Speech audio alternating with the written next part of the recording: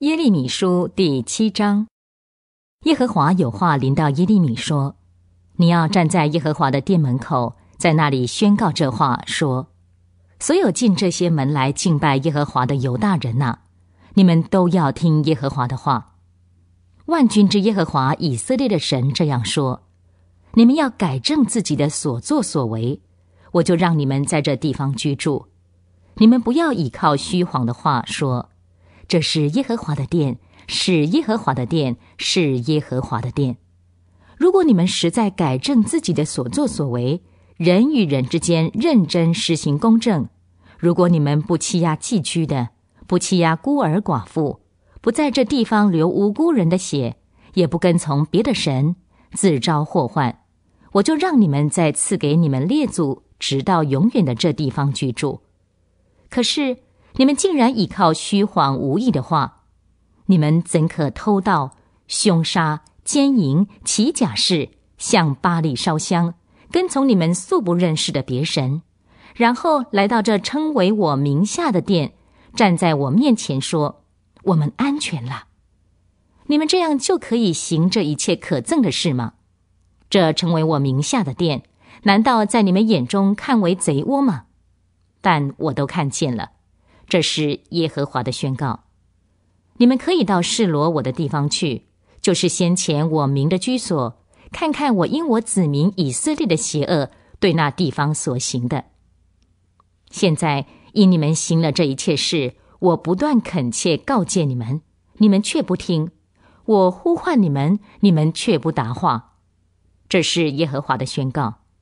所以我从前怎样对待示罗，将来也怎样对待你们所倚靠的那称为我名下的殿，以及我赐给你们和你们列祖的地方。我必把你们从我面前赶出，像我从前赶出你们的众弟兄以法莲所有的后裔一样。至于你，不要为这人民祈祷，不要为他们呼求祷告，也不要为他们向我恳求，因为我不会听你。他们在犹大的各城中，在耶路撒冷的街道上所行的，你没有看见吗？儿子捡柴，父亲生火，妇女团面，为天后做饼，又向别的神交奠祭，惹我发怒。他们害的是我吗？岂不是他们自己以致脸上蒙羞吗？这是耶和华的宣告。因此，主耶和华这样说：看哪。我的怒气和愤怒必倒在这地方，也必倒在人口、牲畜、田野的树木和地的出产上。怒火烧起，不能熄灭。万军之耶和华以色列的神这样说：你们尽管把燔祭加在平安祭上，自己吃祭肉吧，因为我把你们列祖从埃及地领出来的那日，燔祭和平安祭的事，我并没有向他们提说。也没有吩咐他们，我只吩咐他们这一件事：说，你们要听从我的话，我就做你们的神，你们也做我的子民。你们要遵行我所吩咐的一切道，好使你们蒙福。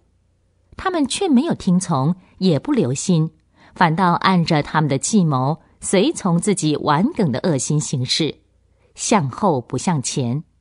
自从你们列祖出埃及地的那日，直到今日。我差遣我的仆人众先知到你们那里去，而且是每日不断差遣，你们却没有听从，毫不留心，反倒应着景象行恶，比你们的列祖还厉害。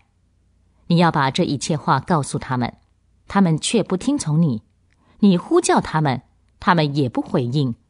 然而你要对他们说：这就是不听从耶和华他们神的话，不受管教的国。诚实丧尽，并已从他们的口中断绝了。你要剪去头发，并且把它抛掉，上到光秃的高冈举哀，因为耶和华便斥气绝了他所憎恨的世代。因为犹大人行了我看为恶的事，把他们可憎的偶像安放在称为我名下的殿中，污渎了这殿。这是耶和华的宣告。他们在新嫩子谷中。建造了陀斐特的丘坛，用火焚烧自己的儿女，这不是我吩咐的，我也没有在心里想过。因此，看呐，日子快到，人必不再称这地方为陀斐特或新嫩子谷，却要称它为杀戮谷。人必在陀斐特埋葬尸体，甚至无处可容。这是耶和华的宣告。这人民的尸体也必给空中的飞鸟和地上的野兽做食物，没有人来驱赶。那时，我必在犹大的城市中和耶路撒冷的街道上，使欢欣和快乐的声音、新郎和新妇的声音止息，因为这地必要变为荒场。